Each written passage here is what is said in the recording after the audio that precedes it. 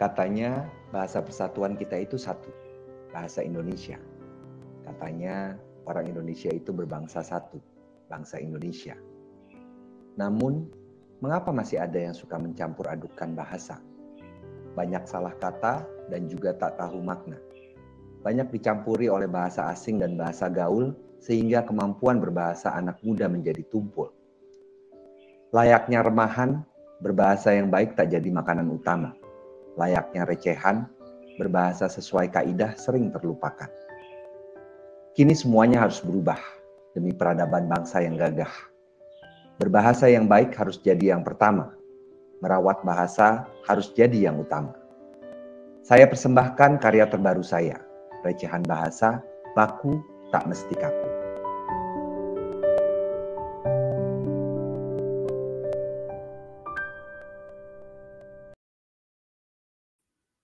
Assalamualaikum warahmatullahi wabarakatuh. Selamat siang teman-teman semuanya yang sudah menanti acara siaran langsung pembukaan masa pra pesan recehan bahasa. Perkenalkan nama saya Fauzia Hafida. Insya Allah untuk 60 menit ke depan akan menemani teman-teman semua di acara siaran langsung pembukaan masa pra pesan recehan bahasa karya Ivan Lanin yang terbaru. Nah, jadi teman-teman sebelum saya mulai acaranya, saya akan kasih tahu dulu bahwa hari ini saya akan ngobrol bareng beberapa pengisi acara.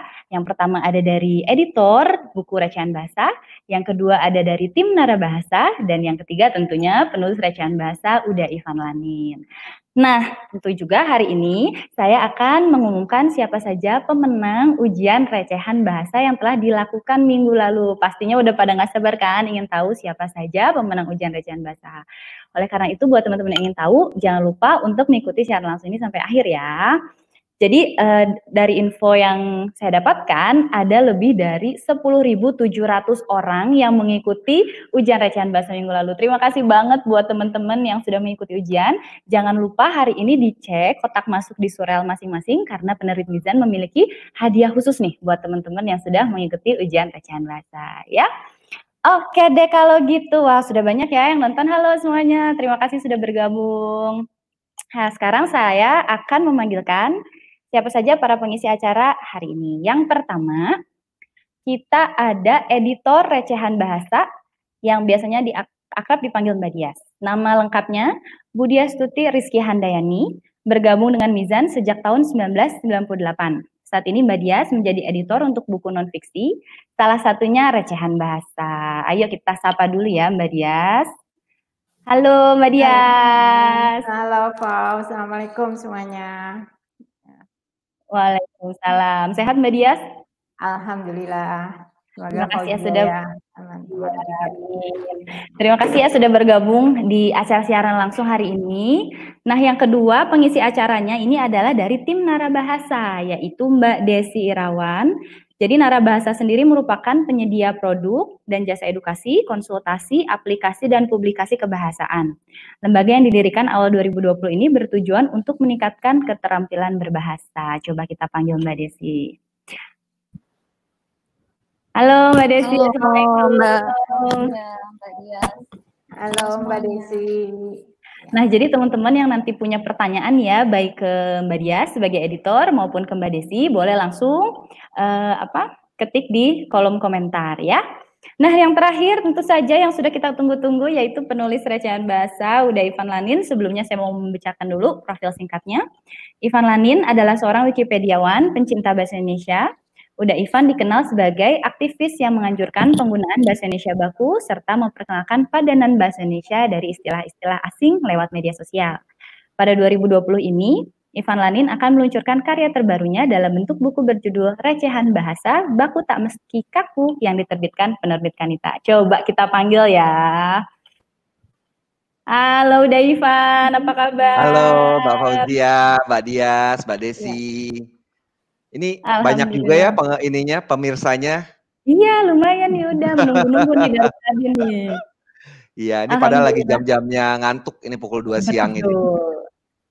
Oke, terima kasih sekali untuk udah Ivan, untuk Mbak Desi dan untuk Mbak Dias yang sudah bergabung hari ini. Kita akan ngobrol-ngobrol sedikit aja nih untuk sekaligus uh, mengisi waktu ya buat teman-teman sambil menunggu nih. Jadi hari ini udah akan diumumkan siapa pemenang ujian recehan bahasa.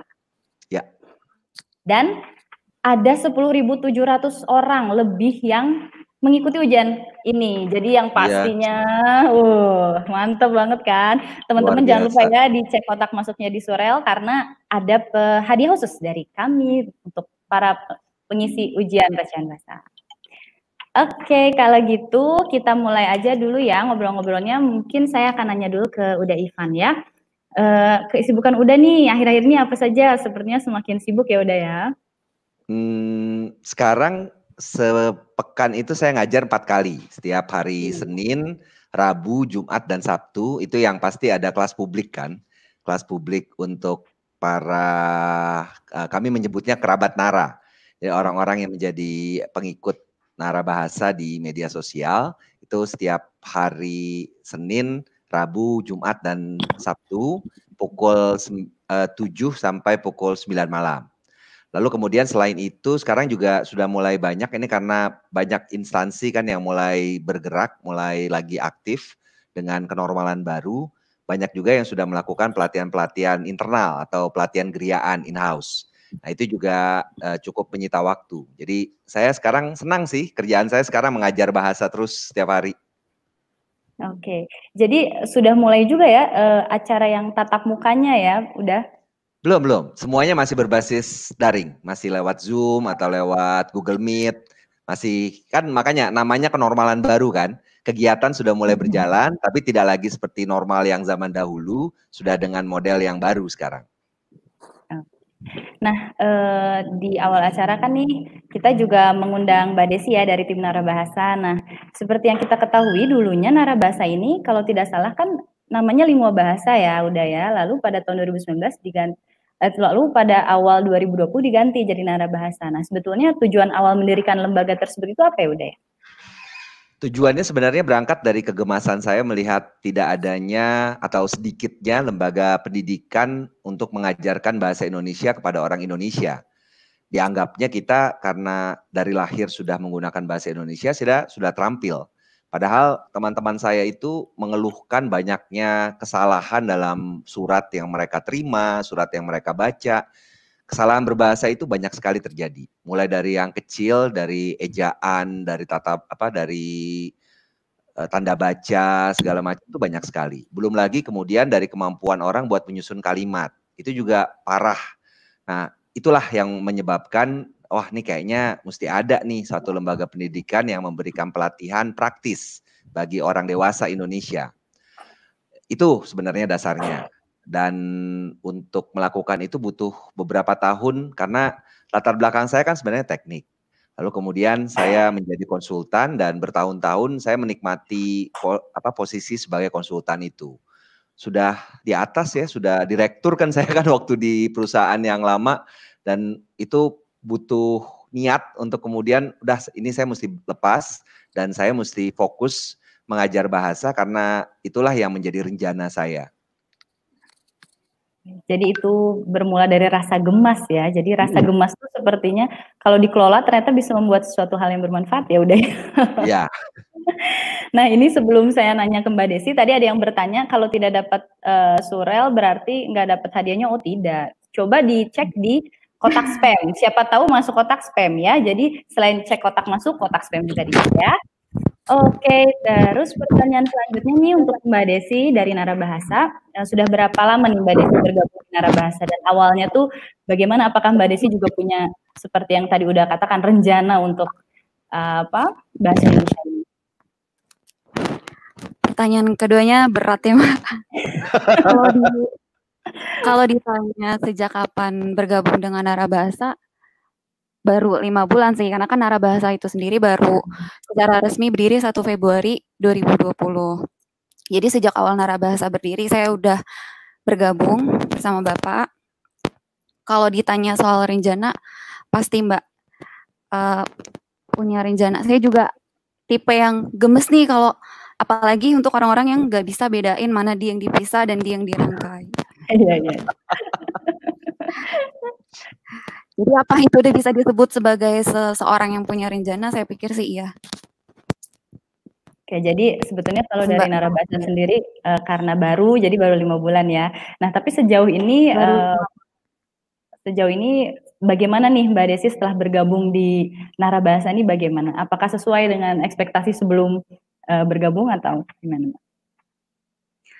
Jujur kalau awal saya bergabung saya nggak punya punya ekspektasi apa pun. Yang saya lihat sekarang perkembangan narabahasa itu sudah luar biasa. Kita dari sejak corona datang ke Indonesia, terus tiba-tiba harus berubah uh, rencana yeah. bisnis sampai sekarang terlaksana dan peserta itu menurut saya sudah luar biasa Mbak. Jadi jauh dari ekspektasi saya di awal. Nah, uh, buat teman-teman yang mau tahu sebetulnya Narabahasa ini programnya tuh apa aja dan targetnya tuh uh, siapa aja, Mbak? Kalau program kalau kalau layanan Narabahasa itu sendiri kan terdiri dari dua jenis, Mbak. Uh, produk eh, uh, layanan jasa dan layanan produk. Nah, layanan jasa ini kami bagi lagi menjadi dua, edukasi dan edukasi dan konsultasi.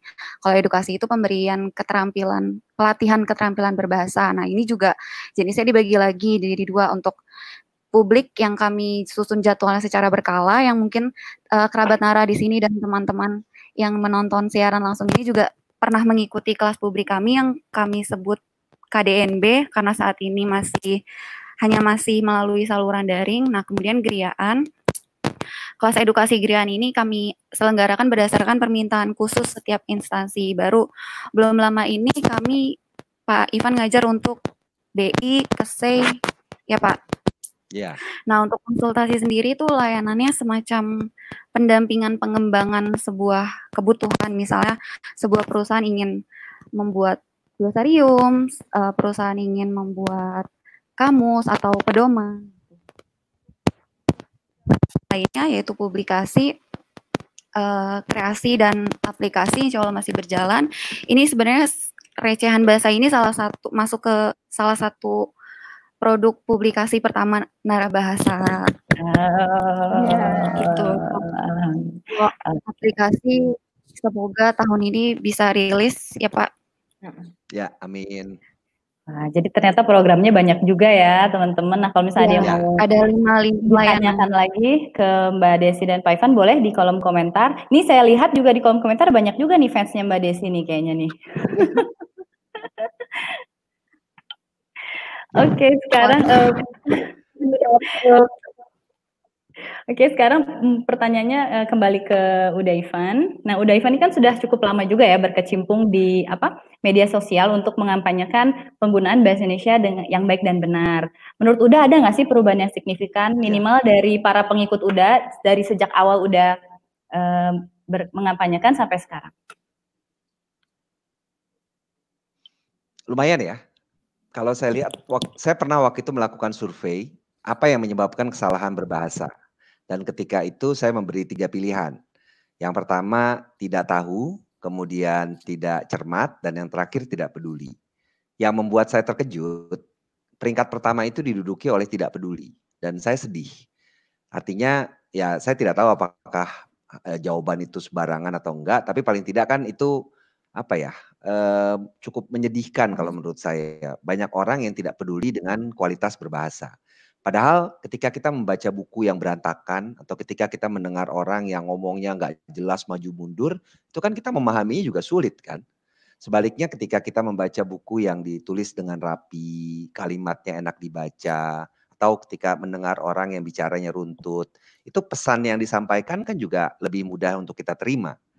Jadi kalau menurut saya semuanya itu harus dimulai dari kepedulian. Kita sama seperti ketika kita makan, kita juga makan itu juga harus peduli kan. Gak cuma makan gorengan terus atau makan indomie terus. Eh, itu juga menentukan kualitas apa yang menjadi asupan kita.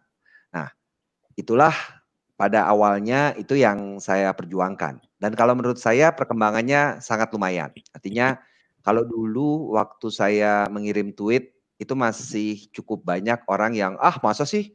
Uh, atau uh, bukan gitu ah itu banyak yang tanggapannya itu defensif duluan atau menolak dulu kak. Kalau sekarang uh, paling tidak menerima dulu oh gitu ya uh, sampai umur 23 tahun saya baru tahu sekarang misalnya kayak gitu kan. Anak-anak sekarang suka gitu. Tapi intinya yang yang paling membahagiakan buat saya kepedulian itu sudah muncul. Kalau dari segi keterampilan ya masih belum terlalu sih, tapi minimal maksudnya uh, saya masih uh, suka melihat kan kita juga ada pelatihan untuk untuk griaan itu kan, pelatihan untuk perusahaan-perusahaan. Itu uh, kami menerima contoh-contoh surat, contoh-contoh laporan yang dibuat dan di sana masih banyak kesalahan yang ditemukan. Tapi sudah lumayan lah, minimal kepeduliannya sudah ada dan pelan-pelan kalau menurut saya keterampilan itu bisa tumbuh dari kepedulian. Nah, mendengar gitu, jawaban ya. ya, mendengar jawaban udah tadi saya jadi inget nih salah satu kalimat favorit saya dari buku recehan bahasa ini yang ada di cover. Kepintaran tenggelam tanpa keterampilan bahasa, kedunguan gemerlap berkat kepiawaian bahasa. Nah itu saya suka banget, suka banget itu yang menjadi salah satu uh, kayak motivasi untuk belajar bahasa Indonesia. Jadi buat teman-teman nanti bisa ikutan prapesan ya. Buku ini ini sebetulnya contoh sih udah ini belum yang terbaru. Ya, ya. Iya, sebenarnya itu yang saya sayangkan. Maksudnya orang itu kalau dia kalaupun dia pintar tapi dia tidak mampu untuk menuliskan atau mengucapkan gagasan-gagasannya dengan jernih, itu dia tidak akan bisa menyampaikan pesan kepada orang lain. Itu sebenarnya yang memotivasi saya pada tahun 2006 untuk mulai belajar menulis dan mulai belajar berbicara. Saya kan ketika tahun 2006 itu kan pemrogram komputer ya pemrogram komputer itu lebih baik berbicara dengan komputer yang lebih bisa ditebak daripada manusia yang nggak bisa ditebak kan. Tapi iya. kemudian saya memaksa diri untuk bisa menulis dan bisa berbicara dengan tujuan itu. Saya ingin gagasan saya bisa dibaca, bisa didengar oleh lebih banyak orang. Nah, sebelum kita membahas gitu, lebih lanjut nih tentang recehan bahasa ke editornya langsung, uh, saya mau ngingetin nih buat teman-teman yang tadi bilang kok nggak terima emailnya, ditunggu ya sampai nanti malam karena pasti semuanya akan dapat ya. Mohon bersabar karena ada 10.700 lebih yang harus kita kirim email ya. Jadi harap bersabar, cek kotak masuk atau tidak cek di spam sampai nanti malam ya. Oke, sekarang kita bertanya ke Mbak Dias nih sebagai editor recehan bahasa. Jadi Mbak Dias ini kan sudah berkecimpung di dunia uh, penerbitan dari mulai 1998, sudah lama sekali. Nah, ini buku recehan bahasa ini salah satu yang dikerjakan oleh Mbak Dias. Ini merupakan uh, apa buku yang berhasil uh, yang dibuat dari beragam unsur bahasa yang berserakan di lini masa media sosial terutama Twitter udah Ivan Lanin ya. Sebetulnya kalau bikin buku tuh idenya bisa dari mana aja sih Mbak Dias coba? Bisa diceritain nggak sedikit? Banyak sekali ide untuk ada jadi buku itu dari ke apa? Uh, kesenangan kita, dari perilaku kita, dari peri, orang lain juga banyak sekali ide itu yang bisa dijadikan buku. Bagaimana kita mengemasnya supaya lebih menarik itu mungkin tantangannya. Ya, jadi sebetulnya proses penyuntingan sendiri ini ya Mbak ya secara umum tuh seperti apa sih? Pasti teman-teman banyak yang penasaran karena pasti banyak teman-teman juga yang ingin menjadi penulis nih Mbak dan bukunya diterbitkan. ya, kita uh, untuk penyuntingan terutama uh, untuk dijadikan buku kita kan nggak apa nggak hanya teks saja yang uh, kita pikirkan juga kita uh, memikirkan bagaimana buku itu bisa diterima orang lain dan bagaimana uh, pesan yang ingin kita sampaikan itu sampai kepada yang menerima uh, pembaca terutama itu. Oke, jadi prosesnya dari awal tuh biasanya gimana dulu nih Mbak kalau misalnya Mbak Dias menyunting suatu buku? Nah, ya dari naskah uh, awal itu kita pelajari dulu seperti apa, kita cari keunikan-keunikannya, apa yang bisa kita tonjolkan, uh, apa yang kita bisa tambahkan atau sebaiknya apa yang tidak akan uh, tidak usah dicantumkan itu uh, kita klasif uh, golongkan dulu.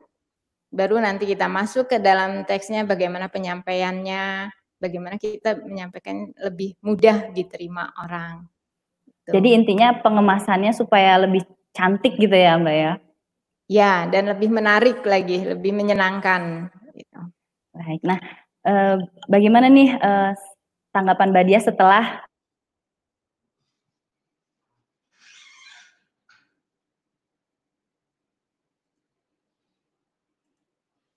kok hilang?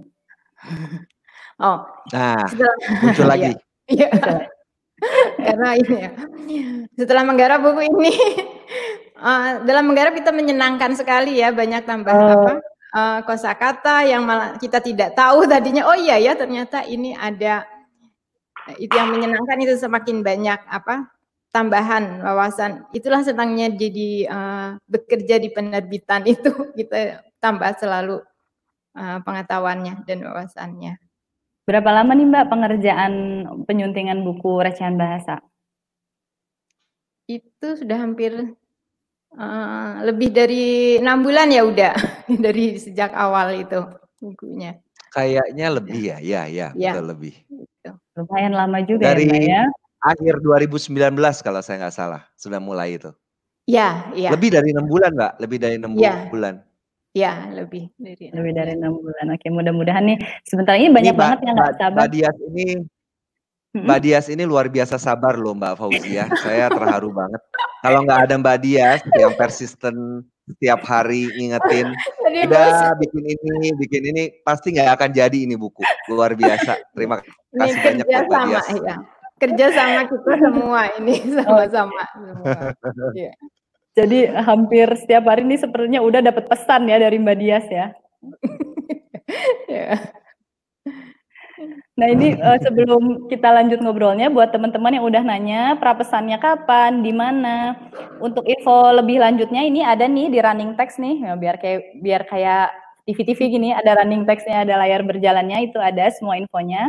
Untuk lebih ya. lanjutnya ya. bisa juga dicek di Tahu nggak bahasa Indonesia-nya running text apa? uh, apa ya? Bahasa Kata Indonesia running text tahu? Kata berlari bukan enggak. Teks lelar. Oh, teks lelar. Teks lelar. Lelah dikejar. Oh iya bener lelah dikejar. enggak, enggak, enggak. Itu kerata bahasa. Oh, iya. Dia kayak itu, kayak benci itu benar-benar cinta. Kayaknya iya, dibalikin iya, aja. Iya. iya, jadi buat teman-teman yang mau tahu di mana bisa pesan buku recehan bahasa di teks lelar nih sudah kita sediakan uh, daftar-daftar toko yang bisa dibeli ya. Nah, ini pertanyaan kembali lagi nih buat uh, Uda. Kan Uda ini sudah lumayan banyak nih kontribusi Uda uh, dalam mengampanyekan ya. pengguna di Indonesia. Apakah masih ada nih rencana ke depannya atau rencana yang mungkin belum terlaksana gitu? Wah masih, selagi seperti kata Mbak Desi tadi, orang Indonesia belum bisa membedakan di yang dipisah dan di yang di, dirangkai, itu pekerjaan narabahasa pasti belum selesai. Ya, apa ya banyak lah. Yang pertama mungkin uh, niat kami itu bikin tesaurus. Sekarang ketika orang itu hmm. sudah mulai tampil untuk menulis, salah satu peranti yang dibutuhkan orang agar teks yang dibuatnya itu tidak miskin kosakata adalah tesaurus kan. Dengan adanya tesaurus dia bisa mencari sinonim kata sehingga lebih variatif pilihan katanya. Lalu kemudian mungkin setelah itu kami juga saya sih saya pribadi itu dari dulu itu saya pengen bikin kamus sinonim. Kamus sinonim itu adalah kamus yang memberikan kita petunjuk kata-kata yang medan maknanya mirip itu apa perbedaannya sebenarnya. Misalnya seperti apa ya? Analisis sama kajian atau kajian e, mempelajari sama mengkaji atau misalnya ombak sama gelombang atau cemburu dan iri. Nah, uh, atau ikhlas dan rela. Nah, kata-kata yang selama ini dengan seenaknya kita pertukarkan itu sebenarnya harusnya punya punya makna masing-masing. Mereka punya penggunaan yang spesifik dan itu kita perlu sekali saat ini. Nah, untuk Mbak Desi sendiri nih itu aja sih. Itu aja mungkin sampai saya tua juga belum selesai pasti kerjaannya. Iya, nah untuk Mbak Desi sendiri di Narabahasa kan sudah banyak sekali ya kelas daring uh, dan tentu saja pesertanya juga banyak. Nah itu apakah pernah nih menemukan uh, peserta yang memberikan testimoni misalnya atau komentar bahwa setelah mengikuti kelas Narabahasa tuh mereka jadi uh, lebih termotivasi atau misalnya gimana gitu pernah nggak Mbak? Oh itu banyak Mbak sombong.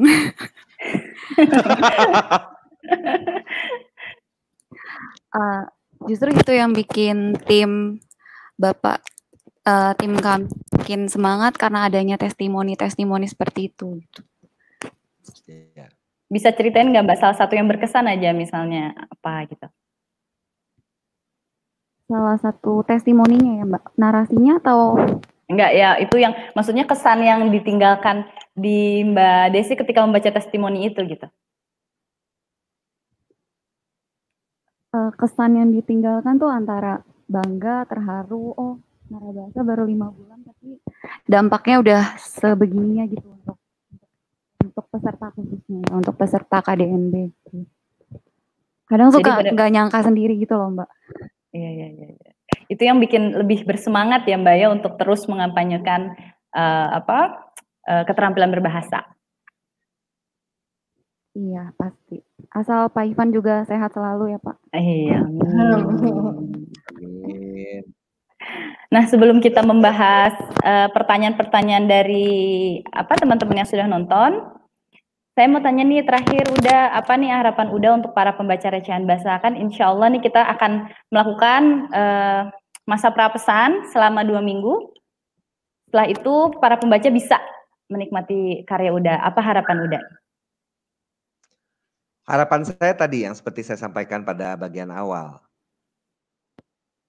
Kepedulian itu muncul dari uh, rasa cinta kan. Jadi ketika orang itu belum cinta dengan bahasa Indonesia, itu mereka kan tidak akan memedulikan bagaimana cara mereka menulis. Yang saya heran kadang-kadang gini, orang itu begitu membuat kesalahan ketika mereka menyusun teks bahasa Inggris, itu paniknya kayak kebakaran jenggot lupa uh, membuat kata yang harusnya plural ditulisnya singular aja itu paniknya minta ampun. Tapi ketika ada kesalahan dalam penulisan teks bahasa Indonesia, ah yang penting orang ngerti deh. Cuma gitu doang. Ini banyak sekali terjadi. Nah, kan ini aneh ya menurut saya. Maksudnya bahasa kita sendiri kok tidak kita rawat seperti kita merawat bahasa orang. Ini ibarat kita lebih merawat anak orang daripada merawat diri kita sendiri. Jadi yang saya harapkan yang tumbuh dari sini dengan adanya fakta-fakta unik, fakta-fakta trivia bahasa Indonesia yang menarik, itu saya ingin orang-orang itu lebih tertarik untuk mencintai bahasa kita sendiri. Bahasa kita itu nggak jelek kok. Yang terjadi itu kemungkinan besar kitanya yang belum tahu apa yang menarik dari bahasa kita. Itu yang saya harapkan. Munculnya kepedulian dan dari sana muncul ketelitian orang dalam menulis dan akhirnya keterampilan terbangun. Baik. Mudah-mudahan kepedulian uh, orang Indonesia sendiri ya dalam menggunakan bahasa, bahasa Indonesia yang ya. benar juga bisa semakin meningkat dengan adanya karya terbaru Daifan ini recehan bahasa. Terima Amin. kasih atas jawabannya udah. Nah sekarang saya coba mau jawab pertanyaan yang ada di kolom komentar. Siapa dulu ya? Oh, dari Meta Composer. Udah Ivan, kalau sekarang kita bisa buka laman KBBI, kalau kita mau tahu padanan kata. Kalau semasa udah belajar sampai menjadi master ini belajar di mana? Oh, maksudnya mungkin dulu kan nggak ada KBBI daring mungkin ya udah ya, lebih sulit oh, gitu. Oh iya iya iya. Mm, gimana ya? ya? Sekarang waktu dulu itu sulit ya. Saya kan 2006 itu mulai menulis di Wikipedia. 2007 saya baru menemukan Milis Bahtera namanya. Dan saya merasa beruntung ketika itu menemukan Milis Bahtera yang isinya para penerjemah senior. Jadi ketika ada kata, uh, waktu itu kan karena dia milis penerjemah lebih banyak pembicaraannya adalah tentang penerjemahan. Tapi itu juga tidak menutup kemungkinan untuk membahas perkara-perkara yang berhubungan dengan tata bahasa. Bahasa Indonesia ya. Dan itu milis itu sangat membantu saya. Saya berutang budi pada milis itu sampai sekarang juga masih ada. Maksudnya uh, kelompoknya masih ada meskipun milisnya sudah almarhum karena kan uh, Yahoo Groups ditutup yeah. ya. Terus ya, nah itu uh, waktu itu saya belajar dari sana 2007 sampai ditutupnya mungkin masih aktif itu sampai sekitar 2011 masih. Nah, lalu kemudian ada lagi satu milis namanya Guyup Bahasa. Itu yang punya FBMM, Forum Bahasa Media Massa. Dan itu juga sangat membantu karena kan itu isinya para wartawan ya yang bergulat dengan perkara uh, kata. Nah, itu yang mendorong saya pada tahun 2019 kemarin untuk mendirikan uh, bahas bahasa. Itu adalah kanal di Telegram yang tujuan saya untuk menggantikan milis. Kalau sekarang itu kan milis ya udah nggak ada ya, milis sudah nggak ada. Terus uh, di mana lagi kita bisa punya suatu forum yang memberikan wadah bagi orang-orang yang ya ada orang-orang yang ingin aktif, ada orang-orang yang ingin cuma sekadar eh, melihat informasi. Ya sekarang yang paling kiwari yaitu um, apa namanya uh, uh, grup Telegram. Jadi akhirnya ya saya pakai itu tujuannya agar teman-teman bisa belajar. Jadi untuk juga menjawab pertanyaan yang tadi, mungkin tadi penanya itu nanya dalam rangka dia juga ingin belajar kan. Kalau menurut saya coba deh gabung dengan grup uh, Telegram bahas bahasa. Ya saya mesti mau wanti-wanti ya dari sekarang itu grup ramai banget dan kalau tidak siap di tengah malam itu tetap aja ada apa pesan-pesan masuk, jangan bergabung. Tapi manfaatnya luar biasa. Jadi nggak ada alasan untuk nggak belajar bahasa Indonesia karena sekarang media itu sudah sangat mudah ya, uh, udah untuk belajar. Ya.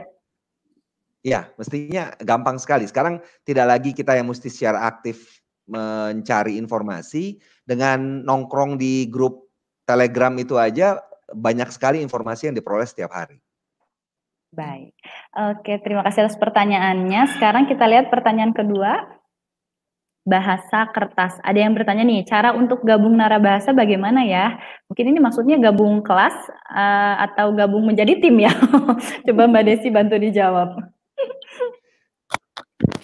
Iya, kebetulan banget pertanyaannya nih, uh, pekan ini sepekan dari kemarin sampai nanti tanggal 26, Narabahasa sedang membuka program Paruma, Pramu Bahasa Gelombang 1. Nah itu uh, program Pramubahasa ini program magang yang kami khususkan untuk mahasiswa-mahasiswa S1 atau setingkat D3 untuk bergabung bersama kami mewujudkan rencana terhadap bahasa Indonesia. Jadi untuk bidangnya sendiri ada empat, bidang digital, bidang produk, operasi, uh, dan pemasaran. Kalau kalau teman-teman tertarik untuk gabung bersama Narabahasa, mungkin bisa langsung aja uh, simak lini masa kami di Instagram atau di media sosial kami itu pengumumannya sudah kami umumkan kemarin. Baik, jadi silakan. Pas banget ya nih ya pertanyaannya dengan uh, pas banget ya. Oke, lanjut ke pertanyaan berikutnya. Ada pertanyaan dari Halwa Intan. Penerbit Mizan, kenapa namanya recehan? Apakah emang lucu dalam tanda kurung receh? Coba Mbak Dias mungkin bisa dibantu nih jawabnya. Kenapa recehan katanya Mbak? Ya seperti tadi kan di uh, udah sudah menyampaikan juga ya bahwa isi buku ini trivia banyak apa hal-hal kecil yang uh, menyenangkan itu. Dan kadang-kadang kita uh, ya istilahnya receh gitu kan sebagai terjemahan mungkin ya padanan trivia ya udah itu receh itu. Ya, trivia. ya. Jadi memang kan ya itu kalau di Twitter sadar hadirin Twitter itu uh, suka bercanda, setiap kali mengirim pesan atau teks edukasi tentang bahasa Indonesia, saya berusaha menyoroti hal-hal yang lucu, yang apa menghibur. Jadi tidak melulu semuanya itu serius dan membuat orang bosan kan. Nah, kenapa inilah itu kenapa kemudian dipilihnya recehan. Recehan itu meskipun kecil, kalau lama-lama kita tumpuk, kita bisa beli macam-macam loh.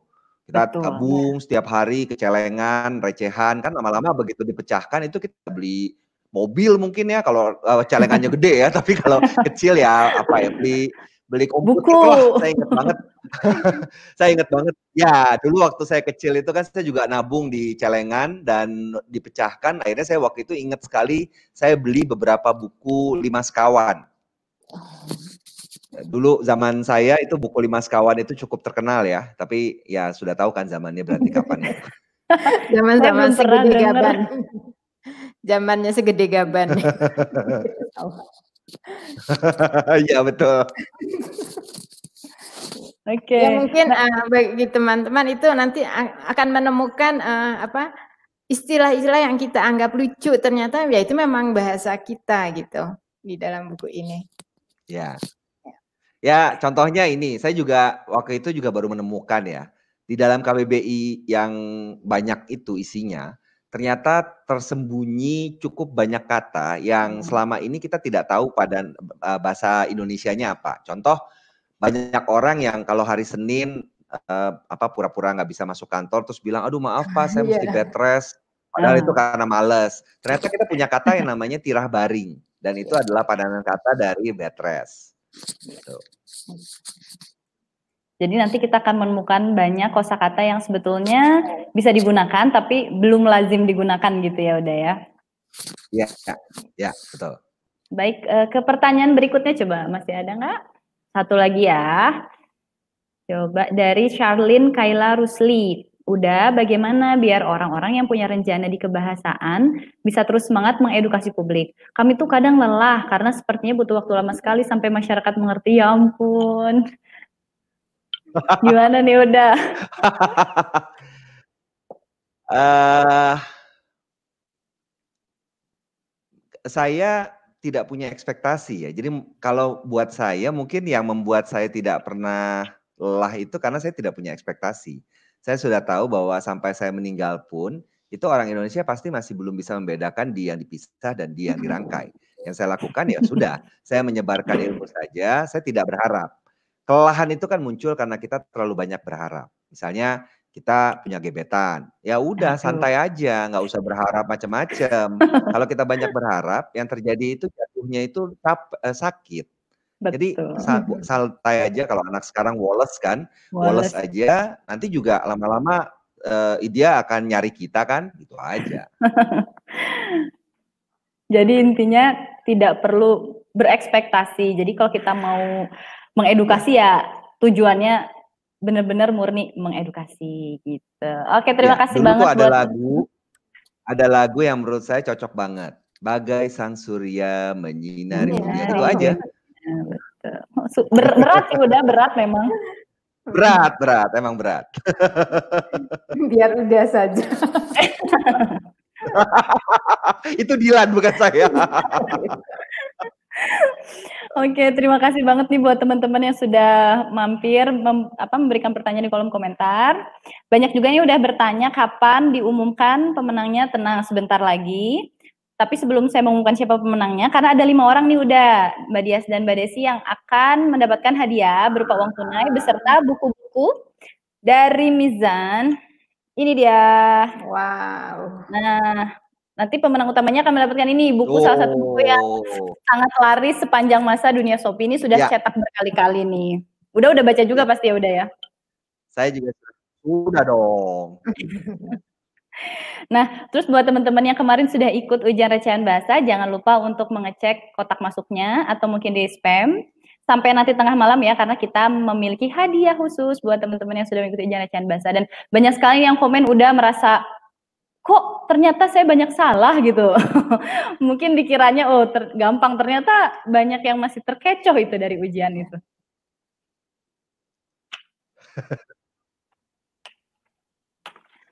Oke, nah sekarang uh, mungkin kita langsung aja kali ya bacakan siapa sih lima orang yang beruntung.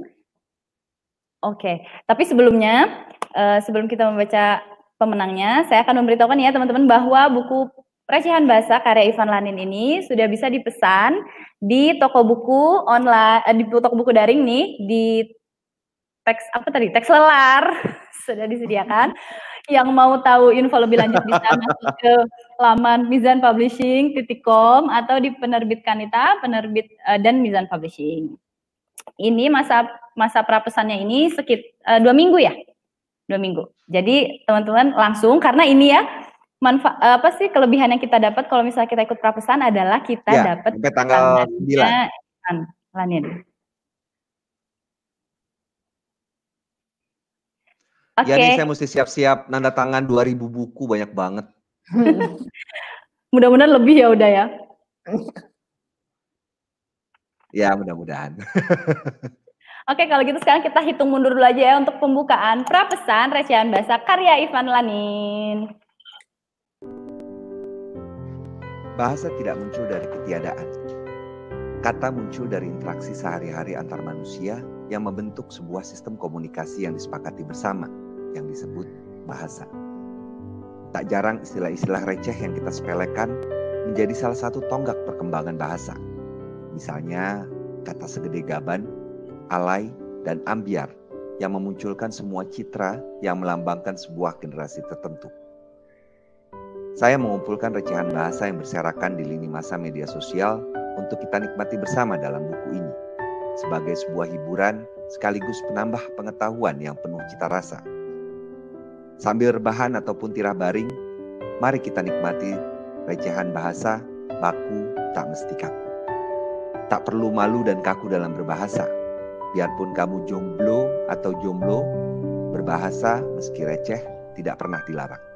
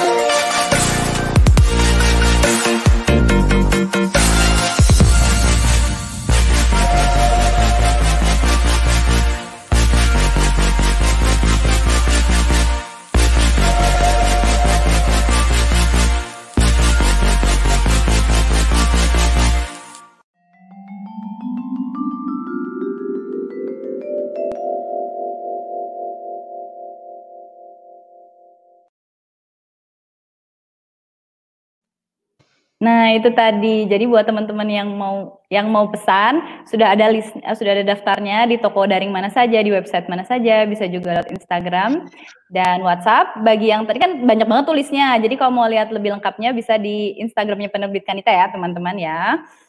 Oke, jadi masa prapesannya ini dibuka dari tanggal 25 Juni sampai 9 Juli 2019 2020. Buat teman-teman yang sudah mengikuti ujian bahasa, jangan lupa dicek surelnya, kotak masuk atau spam, karena kita ada hadiah khusus buat teman-teman. Nah sekarang pasti udah pada nggak sabar nih pengen tahu siapa sih yang berhasil memenangkan ujian recehan bahasa. Langsung saja ya kayaknya ya. Langsung saja kita lihat siapa sih.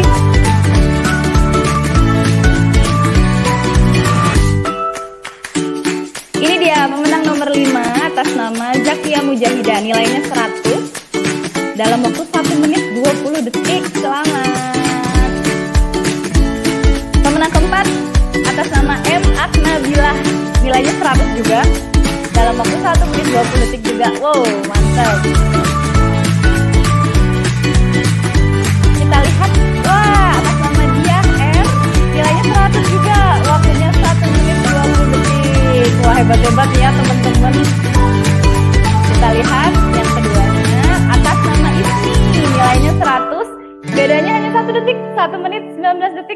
Mantap selamat untuk Ismi nah sekarang waktunya kita melihat siapakah yang uh, juara satu sebetulnya semuanya juga sudah hebat ya udah karena ini benar-benar nilainya 100 semuanya iya. dalam luar biasa luar biasa luar biasa banget kemarin sebenarnya saya nyoba sebenarnya saya nyoba pakai nama samaran saya nyoba dan ternyata berapa?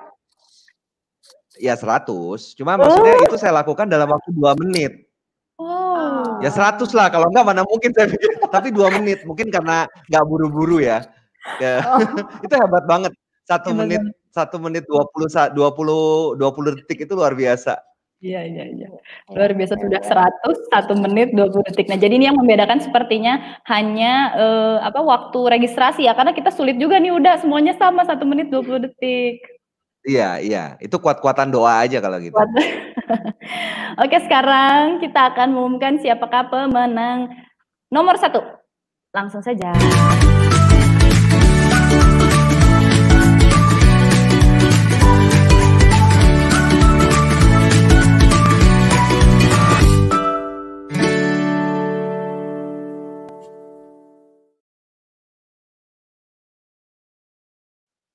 Wah, selamat. selamat. Itu nah, kayaknya ini, bedanya cuma milidetik gitu. Iya. teman-teman yang belum uh, memenangkan jangan berkecil hati karena meskipun nggak semuanya menang tapi nilainya banyak yang bagus juga loh udah saya lihat hampir semuanya lulus iya jadi uh, buat teman-teman yang belum uh, apa memenangkan ujian, jangan lupa nih saya ingatkan lagi untuk cek kotak masuk sorelnya atau kotak spam sampai nanti malam karena kita ada hadiah uh, khusus nih untuk para pengikut eh, para peserta ujian recehan bahasa. Nah, sepertinya karena waktu juga sepertinya sudah hampir habis. Saya mengucapkan terima kasih nih buat para pengisi acara, buat Mbak Dias, buat terima Mbak Desi, dan buat Uda Ivan Lanin. Terima kasih sekali sudah meluangkan waktunya. Mudah-mudahan nanti kita bisa ketemu lagi ya Uda ya, mungkin tatap muka langsung. dan mudah-mudahan juga uh, buku recehan bahasa ini bisa membawa manfaat dan meningkatkan lagi keterampilan berbahasa para warganet, para masyarakat Indonesia. Terima kasih juga buat teman-teman yang sudah bergabung, yang ada di Facebook, yang ada di YouTube. Nanti ini siarannya masih bisa ditonton kok, jadi jangan khawatir. Akhir kata, wassalamualaikum warahmatullahi wabarakatuh. Mohon maaf apabila ada kesalahan. Terima kasih semuanya dan sampai jumpa. Terima kasih juga. Terima kasih. Assalamualaikum. Katanya bahasa persatuan kita itu satu bahasa Indonesia. Katanya orang Indonesia itu berbangsa satu, bangsa Indonesia. Namun, mengapa masih ada yang suka mencampur adukan bahasa? Banyak salah kata dan juga tak tahu makna. Banyak dicampuri oleh bahasa asing dan bahasa gaul sehingga kemampuan berbahasa anak muda menjadi tumpul. Layaknya remahan, berbahasa yang baik tak jadi makanan utama. Layaknya recehan, berbahasa sesuai kaidah sering terlupakan. Kini semuanya harus berubah demi peradaban bangsa yang gagah. Berbahasa yang baik harus jadi yang pertama. Merawat bahasa harus jadi yang utama. Saya persembahkan karya terbaru saya, Recehan Bahasa, Baku Tak Mesti Kaku.